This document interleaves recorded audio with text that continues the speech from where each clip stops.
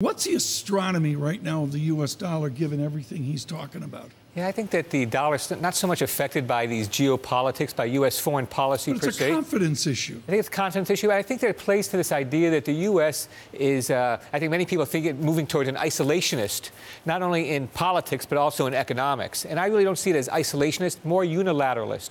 The U.S. wants to have that freedom to act without the confines of having to uh, agree to it the G7 or the G20 or the IMF or the Paris Accord. Does that risk our seniors? Does that risk our dominant currency?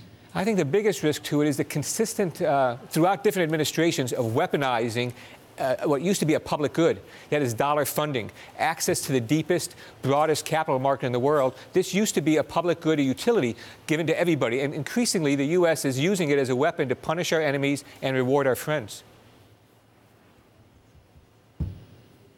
Um, when do you see, uh, Marc, when you look at uh, you know the, the, possible downturn in the world economy, where do you see it first? Do you see it in dollar? Do you see it in treasuries?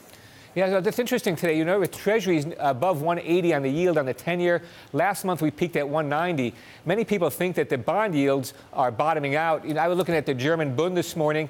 Uh, we bottomed there at minus 72 basis points. Today we're at like minus 35 or so.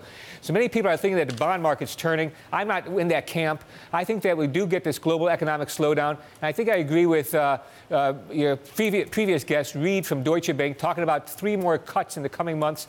We get a cut this week week and maybe two cuts wow. in the first half of next serious? year. Really? I think the economy is rolling over. Extraordinary. I mean, Marty, what does our economics team say? I mean, the consensus there is one or they two cuts. Yeah, you know, slightly more than 25% chance of a recession in the U.S. in the 12 months. And you're bigger forward. than that, Mr. Chairman? I don't know about more of a recession. I do think that the economic slows down, and, well the, said, yeah. and the Federal Reserve makes this trade-off between low inflation and trying to extend this expansion.